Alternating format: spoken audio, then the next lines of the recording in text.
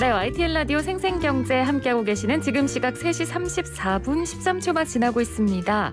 집에, 집을 위한, 집에 의한 대한민국 집코노미의 모든 것, 부동산을 손바닥 들여다보듯 훤하게 들여다보는 시간이죠. 손바닥 부동산 오늘도 도시와 경제 송승현 대표 화상 연결로 만나보도록 하겠습니다. 대표님 안녕하세요. 어, 지금 소리가 안 들리는 것 같은데요. 대표님 소리 잘 들리시나요? 아, 지금 대표님 쪽 화상 연결의 음소거가 어, 네, 이제 들립니다. 잘 들리. 예, 죄송합니다, 시청자분들. 네. 아, 네네. 네, 네, 네. 이제 저희 방송도 잘 들리시죠? 예, 잘 들립니다. 죄송합니다. 네. 자, 도시와 경제 송승현 대표님과 오늘 손바닥 부동산 함께 해볼 주제는 어, 라이브 오피스입니다. 뭐 저는 공유 오피스는 얘기를 들어봤는데 라이브 오피스는 사실 오늘 이 시간을 준비를 하면서 처음 들어봤거든요. 이 라이브 오피스가 먼저 어떤 건지 좀 설명을 해 주시죠.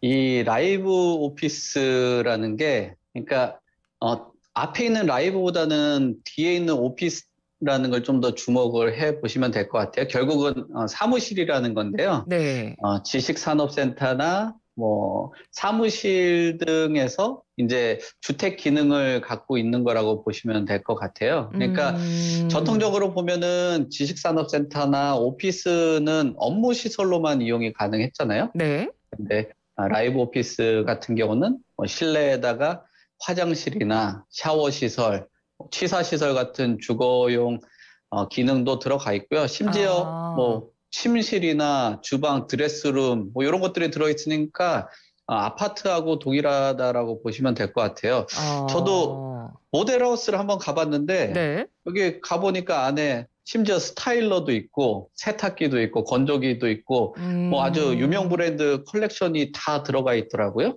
네. 어, 그러니까 어, 향후에 임대인 입장으로 보면은 좀 더 수월하게 뭐 임대차 계약을 맺을 수 있는 장점이 있기 때문에 공실률이 어, 낮아질 수 있다라고는 음. 보여지는데 어, 가장 중요한 거는 핵심은 이게 어, 지금 설명드린 거 보면 주택의 기능을 갖고 있지만 네. 건축법상이기 때문에 사무실이라는 것을 참고를 하셔야 될 것 같습니다. 아, 그러면 지금 얘기를 듣기로는 저희가 흔히 아는 오피스텔하고 비슷 한 것 같거든요. 네. 오피스텔하고 그러면 구체적으로 뭐가 다른 건가요? 라이브 오피스는?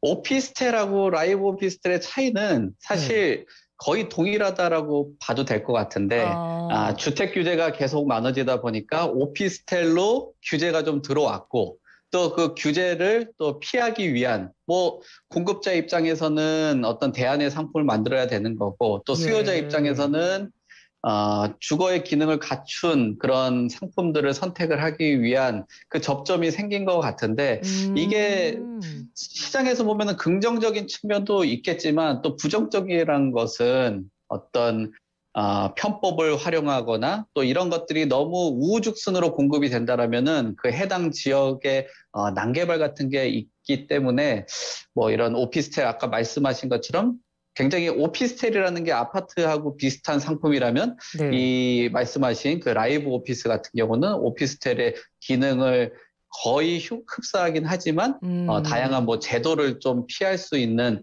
어, 그런 뭐 상품이라고 보시는 게 맞을 것 같습니다. 네, 알겠습니다. 뭐 그렇다 보니까 요즘 뭐 라이브 오피스가 굉장히 뭐 인기가 많다고 하고요. 분양가가 아무리 높아도 뭐 경쟁률도 워낙 치열하고 분양권에 뭐 프리미엄이 붙어서 거래가 되기도 한다고 하던데요. 맞습니까?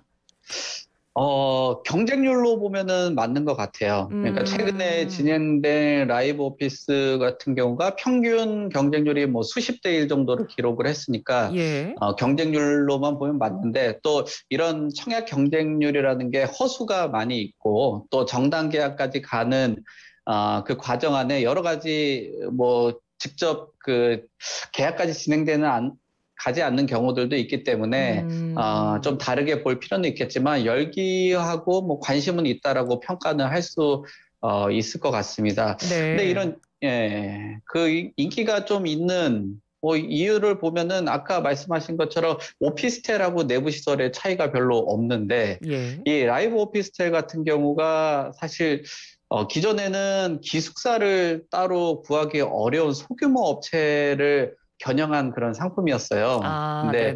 예, 2017년도에 처음 등장을 했었는데 그때 당시는 인기가 별로 없었거든요. 근데 음, 지난해부터 뭐 샤워 부스라든지 싱크대를 구비를 할 수 있게 되고 또 최근에 화장실까지 어, 넣은 그런 설치한 상품들이 등장하면서 음, 이제 오피스텔하고 어, 흡사해지고 네. 또 주거용으로도 사용할 수 있지 않을까라는 그런 생각들 때문에 에, 관심이 좀 더 높아진 것 같습니다. 네. 근데 이것도 이 레지던스랑 마찬가지로 주거용으로 쓰는 거는 불법인 거고 전입신고도 안 되는 거고 그 오피스를 분양을 받더라도 사업자를 대상으로 일반 부동산 임대 사업만 할 수 있는 건데 이렇게 인기가 많다는 건 결국 이걸 편법으로 활용하는 분들이 좀 있다는 거네요. 그렇죠. 음, 일단 이 상품 자체가 아, 주택하고 내부 규제 차이가 없다 보니까 또 규제 아까 말씀하셨는데 그걸 피했기 때문에 뭐 변종 상품이라고 보는 게 맞기는 아, 할것 같아요. 네네. 그러니까 뭐 상한제 분양가 상한제 적용도 받지도 않고 또 다주택자 같은 경우는 규제를 피할 수 있는 그런 상품이기 때문에 음, 많은 사람들의 이목을 끌고 또 10%의 계약금만 가지면 전매가 가능하기 때문에 관심이 높아지고 있는 상황인데 네. 정확한 지적이세요. 생활형 숙박시설이나 레지던스 어, 이런 것처럼 이게 주, 주거용으로 사용하면 불법이고요. 예. 또 전입 신고가 불가능하기 때문에 뭐 분양받고 나서 어, 사업자 대상으로만 사실 임대 사업을 할 수 있는 거죠. 네. 근데 이것을 뭐 잘 모르시고 그냥 뭐 분양을 받고 나서 사업자가 아, 사업 준비할 때까지 임대를 하겠다라는 뭐 서류를 쓰고 임대를 한다든지 음, 또 주거로 이동을 할 수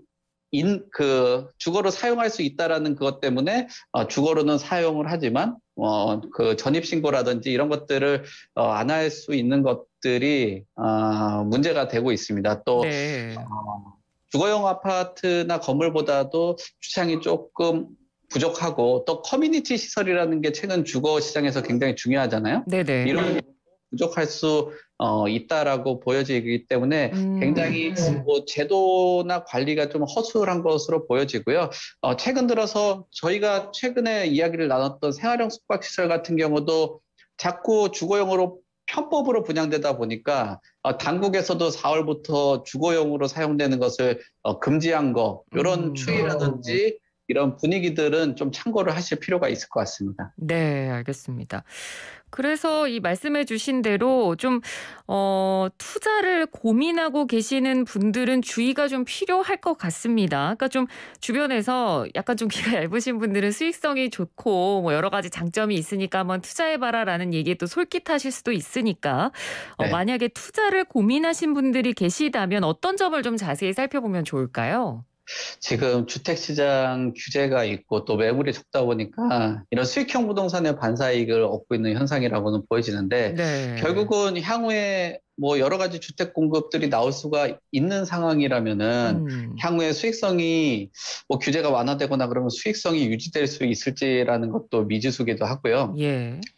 규제를 피한 상품 같은 경우는 향후 다른 대체 상품들이 들어온다라면은 어, 매력도가 떨어질 수가 있습니다. 음. 또 어, 주택 실수요자들 아까 말씀하신 것처럼 굉장히 귀가 얇아진 얇아진 그런 상황인데 어, 지금 이 상품은 주거용 건축물이 아니라는 것을 잘 참고를 하시고 실거주를 하시려는 분들은 어, 신중하게 거래를 하실 필요가 있습니다. 그러니까 거주용 부동산보다는 수익형 부동산이라는 것을 아, 가장 중요하게 어, 생각을 하셔야 될 것 같고 또 생활형 숙박시설처럼 관련법이 또 강화가 됐을 때는 투자 손실까지도 나타날 수 있으니까 네. 이 점은 좀 유의를 하실 점이라고 봐야 될 것 같습니다. 예, 알겠습니다. 자, 이제 다음 주제로 넘어가 봐서 보도록 하겠습니다. 이번 주에 또 굉장히 뜨거웠던 이슈 중에 하나인데요. 뭐 이른바 재초환이라고 하더라고요. 재건축 초과 이익 환수제 이게 본격적으로 부활했다는 소식이 전해졌는데 자, 재건축 초과 이익 환수제가 뭔지 일단 좀 쉽게 설명을 해 주시죠. 이게 쉽게 설명이 될지는 모르겠는데 네. 그러니까 아, 초과적인 이익을 환수한다라는 거는 어쨌든 그 단어에서 나와 있는 것처럼 어, 이익 환수제라고 보시면 되는데 재건축을 하다 보면은 이익이 생길 거 아니에요? 네. 그런 이익이 적정 이윤이냐라는 것을 판단을 해 봐야 되는데 음. 그게 주변에 인근에 있는 집값이 오른 금액이나 네. 아니면 또 비용 이런 것들이 발생을 할 거 아니에요 사업들 네. 네. 그거를 빼고 나서 가구당 3천만 원이 넘으면 그거에 대해서 초과되는 금액의 한 절반 50%를 아, 부담금으로 환수한다라는 거예요. 음. 그러니까 요게 그 2006년도에 도입이 됐다가 네. 그때 당시는 지금하고는 좀 달랐죠. 뭐 주택 시장이 침체가 돼서 2013년부터 17년까지는 또 유예를 했었는데 아. 지금 주택 시장이 또 불안정하잖아요. 그러니까 2018년 1월부터 부활을 어, 한 것으로 보여집니다. 네. 이 재건축 초과이익 환수제라는 게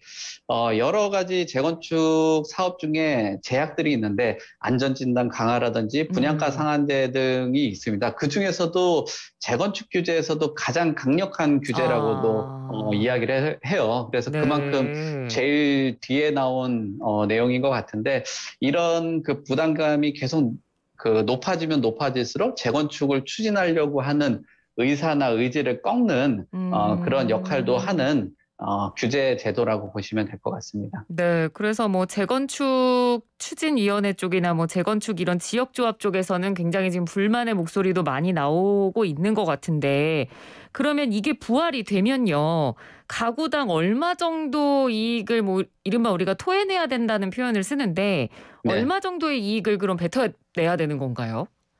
그러니까 지금 이게 문제가 굉장히 어, 많은데요. 지금 은평구에 빌라를 재건축한 곳 하고 또 7월 달에 사용 승인한 어, 서초구 반포에 있는 재건축 단지 같은 경우가 이제 본격적으로 부담금 부과가 본격됐다라고 보여집니다. 음. 근데 뭐 정확한 금액이나 이런 것들은 예전 금액들을 더 넘어설 것이라는 내용들이 많아요. 네. 그러니까 예전에 국토교통부가 6, 617 대책인가 그랬을 거예요. 그때 강남에 다섯 개 단지를 시뮬레이션을 했었는데 네. 어, 재건축 부담금이 뭐 한 4억 4천에서 5억이 넘는 것으로 어, 됐습니다. 또 그 중에 어.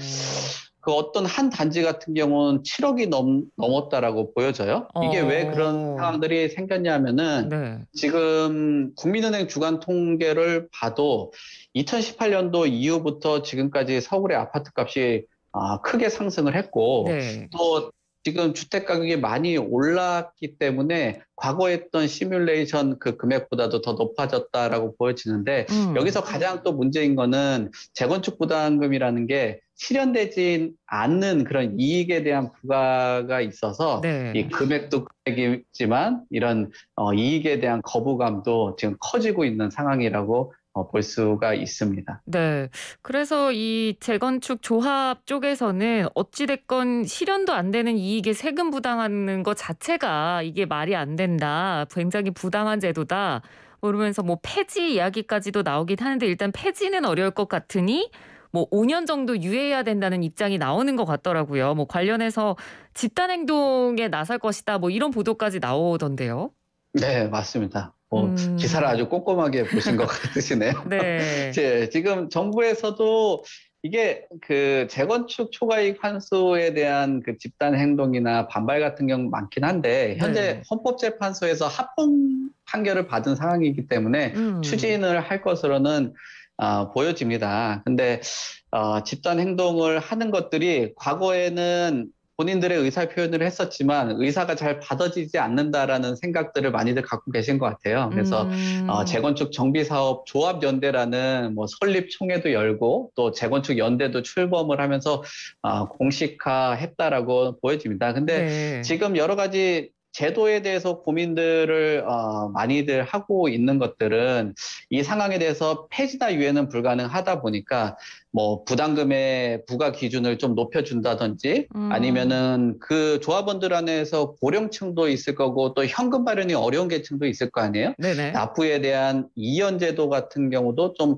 어, 검토를 해볼 수 있고 사업을 하면서 늘어나는 뭐 여러 가지 비용 같은 경우도 또 비용 처리 항목으로 늘린다든지 뭐 제도에 대해서 좀 유연성들을 확보를 하는 그런 네. 차원으로 가지 않을까라고는 생각합니다. 뭐 집단 행동 음. 에 나서는 것도 또 한편으로는 상당한 이기심이라는 그 사회적인 인식도 어, 생길 수 있는 부분이기 때문에 네. 일정하게 뭐 어, 주택 공급도 해야 되기 때문에 논의가 계속적으로 일어날 것으로는 보여집니다. 음, 그러면 실제로 시행이 유예될 가능성도 조금 있긴 한가요? 가능성이 어느 정도나 되나요?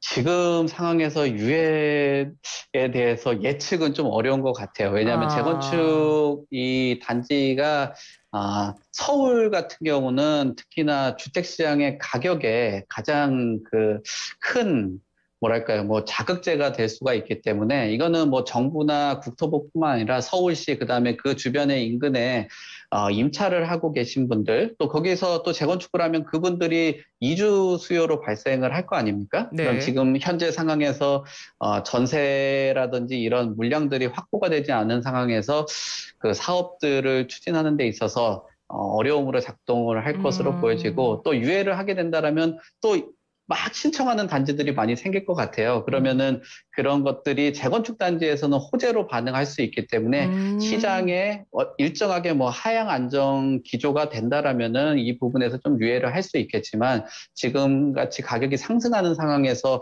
유예를 하는 거에 대해서는 어, 글쎄요, 뭐 지금 상황에서는 좀 쉽지 않지 않을까라는 것은 뭐 제 개인적인 그 판단으로 어, 보여집니다. 예. 네, 알겠습니다. 그 앞서 재건축 초과이익 환수제에 대해서 의미를 설명해 주실 때 대표님이 어떻게 보면 규제에 있어서 가장 좀 강력한 단계이고 그래서 최종적으로 보통 이게 시행이 되는 제도라고 말씀을 해 주셨잖아요. 그렇다면 이 제도가 부활이 되면 재건축 시장 상승에 어느 정도 좀 브레이크가 걸릴 수 있을까요? 효과는 어떻게 보세요? 효과는 결국 재건축 초과이익 환수제는 집값 안정 투기 수요 억제를 막는 수단이긴 한데 네. 어, 한계는 좀 있을 것 같습니다. 사실 정비 사업이라는 게 지금까지 뭐 도시계획이나 주거 환경에 공공성이 강한 그 사업인데도 투자 대상으로 활용이 많이 됐거든요. 네. 그러니까 또 막대한 시세 차익을 거두는 뭐 일부 조합들 같은 경우나 뭐 비리 같은 경우가 꽤 많이 생겼어요. 음. 근데 이런 그 문제점이 있긴 해도 너무 그 사업을 추진하는 데 있어서 뭐 시세 차익을 환수를 한다라고 하면은 결국 사업을 지연을 한다든지 뭐 음. 일대일 재건축을 한다든지 네. 공사비를 올려서 뭐 고급화 아파트로 가서 어, 수익성을 낮출 수가 있는 거죠. 아니면은 음. 평수를 더 넓힌다든지 그러면은 네. 시장에서 기대했던 그 공급량이라든지 이런 물량들이 나오는 것들은 한계가 생길 수밖에 없어요. 그러니까 네네.